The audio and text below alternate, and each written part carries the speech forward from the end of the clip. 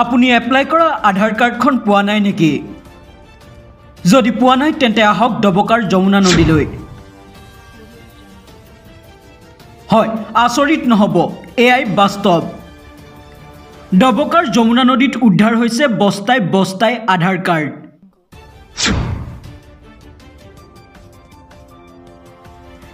এখন দুখন নহয় কেইবাশতাধিক আধাৰ কাৰ্ড পেলাই দিয়া হৈছে ডবকাৰ যমুনা নদীত।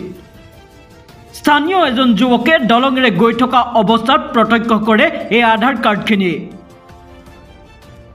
যিটো সময়ত চৰকাৰে আধাৰ কাৰ্ডক গুৰুত্বপূৰ্ণ নথি বুলি ঘোষণা কৰিছে সেই সময়ত এনেদৰে নদীত পেলাই দিয়া আধাৰ কাৰ্ডখিনিয়ে যথেষ্ট চাঞ্চল্যৰ সৃষ্টি কৰিছে।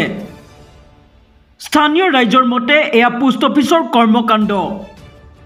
আধাৰ কাৰ্ডৰ বাবে হাবাথুৰি খোৱা ৰাইজৰ আধাৰ কাৰ্ড এতিয়া নদীৰ পাৰত। ইতিমধ্যে ঘটনাস্থলীত উপস্থিত হৈছে ডবকা আৰক্ষী। উচিত তদন্তৰ দাবী জনাইছে স্থানীয় ৰাইজে। উদ্ধাৰ কৰি বস্তাত পেক কৰি লৈছোঁ এইখিনি মই থানাত লৈ যাম।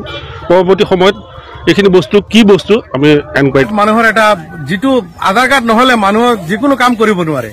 গতিকে আমাৰ ৰাইজে আধাৰ কাৰ্ডৰ কাৰণে এবাৰ দুবাৰ তিনিবাৰ এপ্লাই কৰাৰ পিছত যেতিয়া আধাৰ কাৰ্ড ঘৰত নাপায় তেতিয়া মানে পোষ্ট অফিচত আহে। পোষ্ট অফিচত আহি পোষ্ট অফিচত আহি বিচাৰে আধাৰ কাৰ্ড দিবৰ কাৰণে। কিন্তু পোষ্ট অফিচৰ যিজন ডাক বিভাগৰ পিয়ন যিজন আছে সেইজনৰ কৰ্তব্য হল চৰকাৰে দৰমহা দি আছে।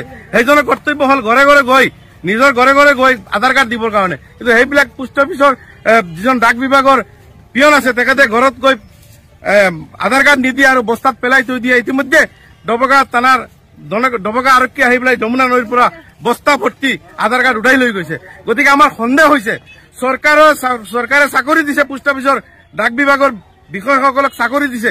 সেইসকলে এনেই পইচা খাই আছে কিন্তু ৰাইজৰ কাম নকৰে। গতিকে আমি ইয়াত উচ্চ এটা দাবী জনাইছো যাতে উচ্চ পৰ্যায়ত তদন্ত কৰি দোষীক কৰায়ত্ব কৰিবলৈ বা- বিহিত ব্যৱস্থা ল'ব লাগে। কাৰণ এইখন আমাৰ দাবী এখন আমাৰ আমাৰ হক।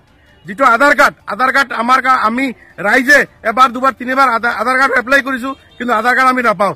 কিন্তু সিহঁতে ৰাইজৰ জীৱনত হেতালি খেলি আধাৰ কাৰ্ড বস্তাত ভৰাই থৈ ডাষ্টবিনত পেলাই থৈ আৰু ইতিমধ্যে দেখিছো যমুনা নদীত আনি পেলাইছে। গতিকে আমাৰ সন্দেহ হৈছে নিশ্চয় ওচৰত এখন পোষ্ট অফিচ আছে। গতিকে পোষ্ট অফিচৰ ওপৰত আমাৰ সন্দেহ হৈছে এইখন পোষ্ট অফিচৰ যিবিলাকে চাকৰি কৰি আছে সেইবিলাকে মানে ঘৰত পিয়ন যিজন আছে সেইজনে ঘৰে ঘৰে নি ডাক বিভাগৰ পিয়ন যিজন আছে ঘৰে ঘৰে নি আধাৰ কাৰ্ড দিব লাগে কিন্তু সেইজনে নিদিয়ে।